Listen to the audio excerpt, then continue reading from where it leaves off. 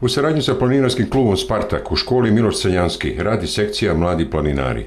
Ove školske godine izveli su dve akcije, Jesenas, Palić, Tresetište i Proletos, Fruška gora.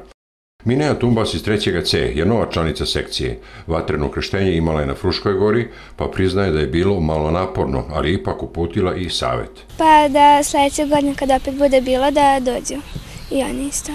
A zašto da dođu? Pa da vide kako je tamo i da se zabave. Oliveri Ratko iz 5. C Fruška gora je bila druga planinarska akcija. Nekako je lepše kad niste, kad niste, ovaj, kad se šetamo negde drugde, zato što na Paliću, na primjer, sam već bila puno puta i već znam kako je tamo, a na Fruškoj gori, eto, ovo mi je prvi put da sam bila tamo i bilo mi je uzbudljivije nego na Paliću. Najviše ću se sećati kad smo stali, kad smo se vratili sa iz šetnja i kad smo čekali da se pasulj spremi i onda sam se najviše zabavljala i družila sa drugarima i to ću posebno zapamtiti. Vijali smo se, pričali smo, uživali smo. Učesnik obe akcije je Marko Mašić iz 4. C koji nam je ispričao jedan događaj. Kada je nastavnik e, Cetić, kada je ložio vatru za pasulj, onda smo mu mi pomagali, ovaj, ubacivali smo drveće i onda smo uzeli smo maramice, naboli na drveće i pravili smo baklje od toga. A sada sledi jedna zanimljiva priča u kojoj su Olga Vrnčić iz 3. A i Ratko Tikvicki iz 3. C. Pa puno smo se šetali. Zastali smo do manastira, manastira Staro i Novo Hopavo.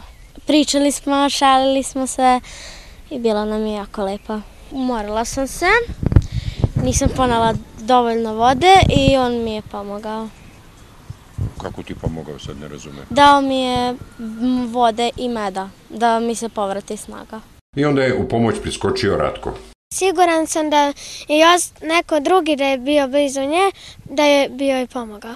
Zato što sam uradio da bi sam pohvalu od škole Miloš Crnjanski i od, i od kluba Spartak. Prvi put sam na planinarima. A prvi put si učestvovao. I kako ti se, kako ti se svidjelo? Super. A šta je to bilo super? Pa zato što smo planinarili, pa vidjeli smo spomenike, staro hopava, novo hopava. I nije ti bilo naporno?